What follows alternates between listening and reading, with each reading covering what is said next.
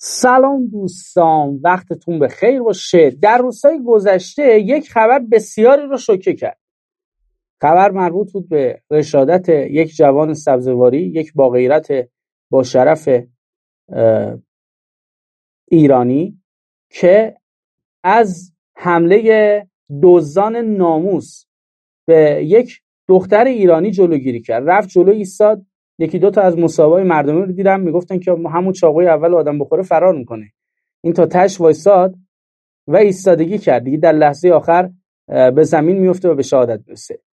با اون دختری که توی این ماجرا بوده مصاحبه کردن هرچند این ماجرا حاشیه خیلی زیاد بخشی از حاشیه این بود که از همون لحظه اول هر کسی پیرامون این مسئله صحبت می‌کرد یک جمله ای داشت می‌گفت ایشان آقا یه لحظه گوش بده. ببین این کلمه چرا برای بخشی از جامعه ایران قابل فهم نیست؟ کلمه خیلی کلمه عجیبیه.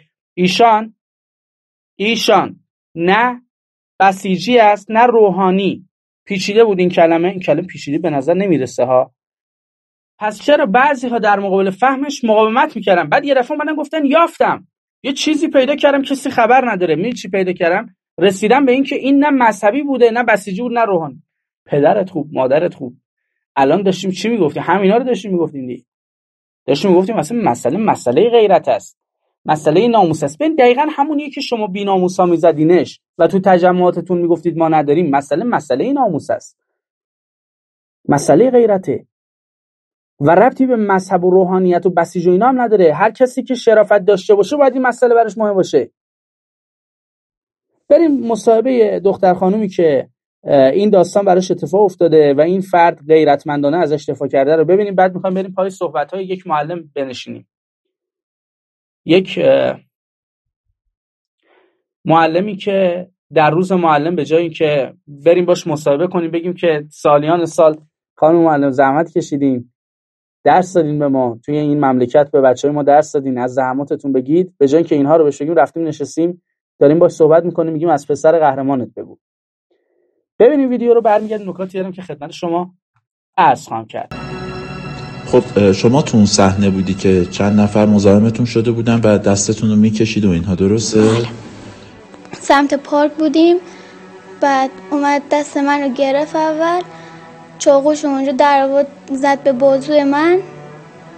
همون لحظه که دست منو گرفته بود این شهیدم اومده بود. بعد چاقو رو به سمت قلبش چی می‌گفت به شما؟ اون شخص که دست شما رو می‌کشید چی, چی کار داشت؟ چجور خواسته ای داشت از شما؟ می‌گفت تو باید با من بیای. منم دستم رو میکشیدم اون دست منو می‌کشید. میگم اگه اون نبود الان دختر من وجود نداشت. شاید میبردنش شاید میکشتنش. خیلی ممنونم ازش. خیلی. نا خیلی ناراحتم. که اون مثل دختر خودش نگاه کرده دیگه. فرق نمی‌کنه. آدم هستن که اصلا نمیرن. نمیرن جلو. میگم بذار دعوا کنه. هر به هر جا می‌خواد برسه برسه. هیچ که نرفته جلو ولی آقا رفته. بله یه سر نمیرن جلو. یه سر فضولیه. آقا تو این کانال های تلگرام و یوتیوب و اینستاگرام به ما یاد دادن فضولیه. ما نباید تو کار کسی فضولی بکنیم. آقا فضولی نیستا. اخیرا توی یکی از این کشورهای اروپایی من الان حضور ندارم. تو کانال محتواشو گذاشتیم. گفته که اگر کسی توی سن پایین نوجوان باشه یا جوان باشه جنایت انجام بده یا قتل انجام بده یا کارهای تبهکارانه انجام بده یا کار گروهی خرابکارانه انجام بده خانواده‌اش رو ممکن از خونهشون بندازیم بیرون. بچه اساسی.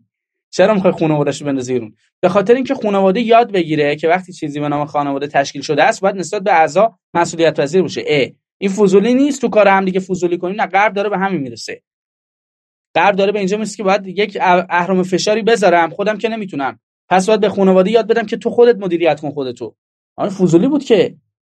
نه اونا فهمیدن که این شکلی باید زندگی کرد. یک نفری توی جامعه ما فهمید که آقا بذار هر کسی هر قضاوتی می‌خواد بکنه. حالا دوربین اگر نبود الان تکفیرش می‌کردن. گفته این نمی‌دونید. یه نفری بوده این رفته چاقو کشیده. اول به همه اینا چاقو زده بعد معجزه شده چاقوش اثر نکرده بعد اونا مجبور شدن چاقو بزنن. اینا رو می‌گفتن درورش یا نه؟ اگه اون دوربین اونجا نمی‌گرفت. بریم ویدیویی ببینیم از خانواده ایشان. نمی‌خوام خیلی این بحث رو با هم مرورش بکنیم. بریم از خانواده ایشان ویدیویی ببینیم ببینیم که آنها ماجرا را چگونه می‌بینن و حال و روزشان امروز چگونه است. ویدیو رو ببینیم. بله اجازه من صداشو قطع کنم این. حق کپی رایت نداشته جزا باشه. کاری کرد که دیگه نامش نام بزرگ و ماندگاری شد. این روزها خیلی آدم راجبش حرف می‌زنن. شما بگید از آقا پسرتون. بچه اولمه. خیلی مهربون خیلی مهربون. جای پدرش برای من پر کرد. پنج ساله. رفت بچهشو بیاره از کلاس. که این اتفاق این صحنه رو دید. نتونست. غیرتش اجازه نداد دختر مردم رو ببره. خودش انداخت جلو.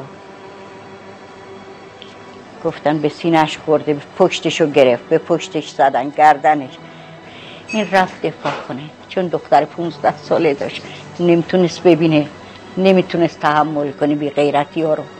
نمی‌تونست یاد بگیرم ازش. جوون یاد بگیر نه بسیجی بود نه جهادی بود انسان بود. شرف داشت شرف داشت چی بگم گفت سر بلندم کرد. برای این خانم اومدن میگن بچه یه معلم. مگه میشه؟ گفتم چرا نمیشه شما معلم بود بله معلم فرهنگی. بله. می‌گفتن چی؟ بله. گفتن بچه معلم میشه شهید بشه. میشه. چرا نمیشه؟ غیرت یه چیزی که تو خون آدم باید باشه عزیزم. چی چی بگم؟ من کانال های مختلف رو نگاه می‌کردم دیدم عکس و فیلم های از شهید اومدن گذاشتن گفتن که آقا ببین دوروبریاش چه شکلی بوده حجابشون. داشت گشت ارشاد رو انداختی که. می‌گفتی گشت ارشاد بده که گشت ارشاد رو انداختی یه دفعه به این آدم رسیدی که. چه خبرتونه؟ چیکار دارید می‌کنید؟ کجا دارید میرید؟ نه باید یه جوری آقا یه زوری بزنه که ببینه از این چه بهره برداری می‌تونه داشته باشه. سلبریتی ایران رو نگاه بکنید. سلبریتی ایران روزی که ایشان از یک دختر ایرانی در مقابل یک بیناموس بی همه چیز دفاع کرد هیچ حرفی نزدن. 24 ساعت وایسادن هیچ حرفی نزدن. خانواده ایشان اومد تاکید کرد. گفت آقا به حضرت عب... چی میپرستی؟ به همونی که میپرستی؟ قسم به اونی که میپرستی؟ این نه چیز بوده نه نه فلان بوده. حالا فهمیدی الان باید ناراحت باشی؟ یه دفعه سلبریتی ها شروع کردن همه تسلیت گفتن. آقا چجوری شد؟ چه تغییری تو داستان ایجاد شد؟ شرافت چیزی هست که این روزها برای بعضی به طور کامل از بین رفته. می‌خوایم ادامه صحبت های این مادر را بشنویم. اینو گفتم به اینجا برسم. توی page مسئول انجور قومی کلا دیدم که برایش گفتی که پای صحبت های مامانش نشینید اینا اعترافات اجباریه. والا ما یه دقیقه صحبت این مادر رو گوش داریم از اولش داره میگه غیرت داشته باشید. غیرت داشته باشید. شرافت داشته باشید.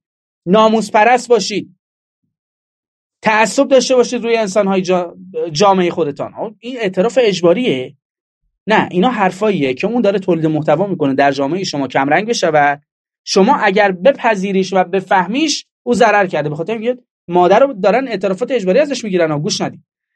ای بی همین چیزها بریم ادامهش رو با هم ببینیم. برمیگردیم نکاتی دارم که خدمت شما عرضم کرد فیلم رو دیدین؟ بله. اون لحظه به چی فکر می‌کردی که داداش رفت وسط اون معرکه. بعد از غم و غصه و دست دادن برادر به غیرتش افتخار کردم. واقعا افتخار کردم. مرد بود. واقعا افتخار کردم به این موضوع به خاطر ناموس. یه نفر دیگه اینجوری رفتش. جنگید واقعا. دو نفر دید کار دارن نرفت عقب نه هیچی. هی رفت جلوتر هی زدن. هی رفت جلوتر.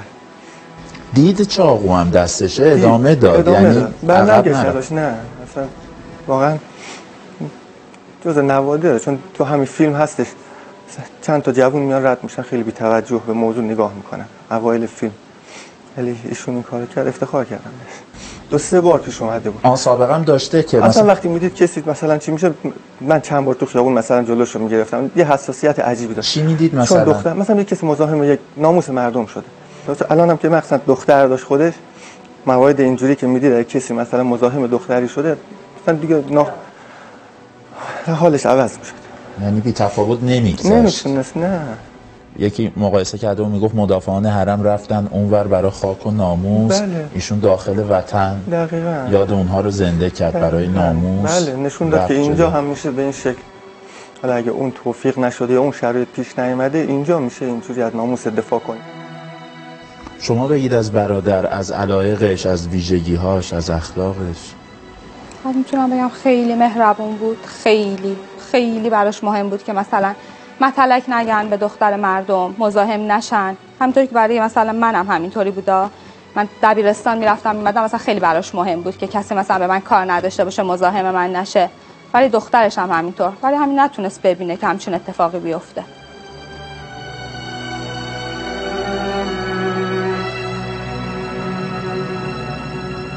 خب خیلی خب بخشی از این ویدیو رو با هم دیگه دیدیم. ادامهش رو با هم مرور خواهیم کرد. بخشی از صحبت های به اصطلاح خودمون کسانی هست که توی این ماجرا حضور داشتن. البته چون ابتدای ویدیو پخشش کردیم می‌خوام ازش عبور کنیم که ببخشید. بریم ادامه صحبت خانوادهش رو ببینیم. برام خیلی جالبه. این روسا بیناموس ها دارن تلاش می‌کنن ایشون رو مصادره کنن چه سنخیتی با شما داره. شما تجمع تو خارج از کشور برگزار می‌کنید. فریاد میگید که ناموس و کلمش رو کنار اسم ماها نباید مثلا استفاده کرد. خاک بر اون سرتون بکنن. توف اون شرافتتون بکنن. برید خدا رو شکر بکنید که این مملکت مردمش با غیرت و ناموس پرستن. ولی ناموس شما بی غیرت های بی شرف رو میبردن. بعد شما گفتید که چی هست؟ این کلمه چیه؟ نگران نباشید. زندگیتون رو بکنید. همینجوری فریاد بزنید. بیناموس بودن خودتون رو بگید توی تجمعاتتون. مردم اینجا با شرفن با غیرتن. حواسشون به شما هم هست. ادامه صحبت ها رو ببینیم. برگردیم نکاتی رو ارز کرد کارشون چی بودیشون نقشه کشی ساختمون دفتر مهندسی داشت. روبری شهرداری سبز یه خیلی ورزشکار بود. هندبال کار می‌کرد. از بچگی از کلاس چهارم پنجم. ورزشکار حرفه‌ای بله بودن. بله. خاص بود. می‌دونین از اول من متوجه نه این مال من نبود. این زمینی نبود. به قیافه نمیشه قضاوت کرد آقا. یعنی چی؟ یعنی بعضیا میگن فقط باید بله. اگه طرف پاکاری مثلا با غیرت باشه ناموس پرست حتما روش باشه داشته باشه. باید آره. شاید بعد یقش خیلی بسته باشه. بعد حتما شلوار پارچه‌ای گشاد بپوشه. ولی حمید رضا هیچ کدوم از اینا نبود شلوار میپوشید تیشرت میپوشید. همیشه همینطوری صورتش هیچ وقت ریش نداشت. ولی فوق العاده غیرتی ناموس پرست مؤمن مؤمن واقعی. مؤمنی که تو وجودش مؤمن بود واقعا. به کسی کار نداشت. در مورد هیچ کس صحبت نمی‌کرد. حتی من که خواهرشم. فقط آینده بچهش خیلی. فقط. خیلی فکر می‌کرد که آیندهش می‌خواد چی بشه چون دخترش هم خیلی درس خونه تیسوشانیه. خیلی براش مهم بود که آیندهش چی میشه کدوم دانشگاه می‌خواد بره. تنها چیزی که براش مهم بود و در موردش حرف می‌زد آینده آبا بود. شما گفتی اومدن به من گفتن مادر شهید. من گفتم من بله من قبول نداشتم این چیزا رو. چرا؟ چرا باید بچه من شهید بشه؟ حالا باشون هم دردی همشون رو بوسیدم دستشون رو بوسیدم قبل این حرفا این چیزا رو قبول نه، نداشتی؟ من قبول نه. یعنی چی شهید؟ چرا رفتن که شهید بشن؟ ولی الان می‌بینم نه آدم در یک موقعیت قرار می‌گیره که هیچی براش اهمیت نداره. اون هدف مهمه. هدفشون خوب بوده. شیرم حلالت مادر. مادر شیرم حلالت چی بگم؟